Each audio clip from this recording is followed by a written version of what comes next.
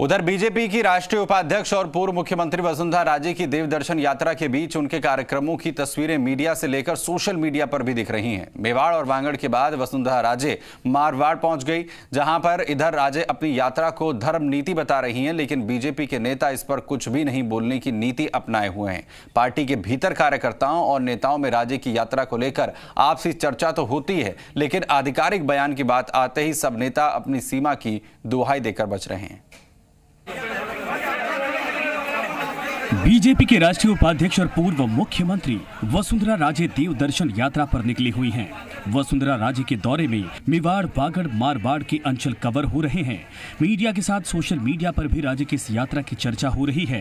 हालाँकि राजनीति में किसी भी नेता का कोई कार्यक्रम शक्ति प्रदर्शन से परे नहीं माना जाता है, लेकिन वसुंधरा राजे का कहना है कि उनकी ये यात्रा राजनीति से जुड़ी नहीं है।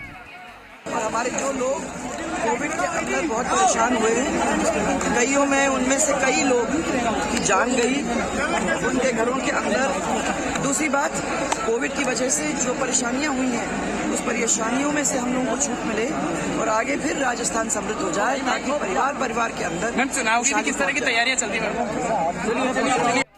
वसुंधरा राजे की देव दर्शन यात्रा को लेकर मीडिया और सोशल मीडिया पर तो चर्चा हो रही है, लेकिन भारतीय जनता पार्टी के नेता इस पर ज़्यादा कुछ बोलने से बच रहे हैं।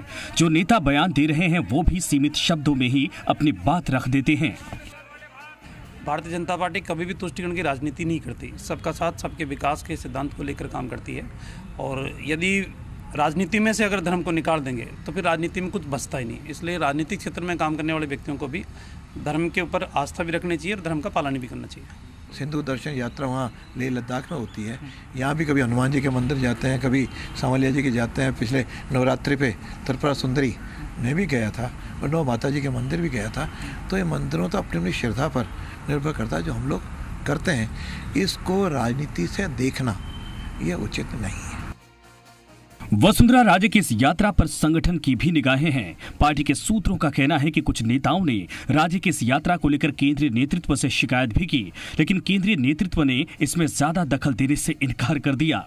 उधर बीजेपी के प्रदेश अध्यक्ष सतीश पुनिया से राजे की यात्रा पर उनका नज़रिया पूछा गया तो उन्होंने कहा कि वसुंधरा राजे देश प्रदेश की आदरणीय नेता हैं और ये उनकी व्यक्तिगत यात्रा है।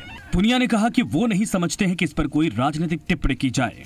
उसके बारे में इतना ही कहूँगा कि वसुंधरा जी हमारी देश और प्रदेश की आदरणीय सम्मानित नेता हैं और उनकी अपनी व्यक्तिगत यात्रा है तो इस लिहाज से मैं नहीं समझता उस पर कोई राजनीतिक टिप्पणी की जाए। यात्राओं के इस दौर में धर्म नीति बनाम राजनीति की बात तो हो रही है, लेकिन धार्मिक यात्रा पर अगर राजनीति से जुड़े लोग साथ आए तो उसे क्या कहा जाए और कैसे समझा जाए? सवाल ये भी कि अगर धर्म को राजनीति से निकाल दिया जाएगा तो क्या राजनीति में लोगों की रुचि और उनकी भागीदारी में फ़र्क पड़ सकता है? शशि मोहन शर्मा, जी मीडिया, जयपुर।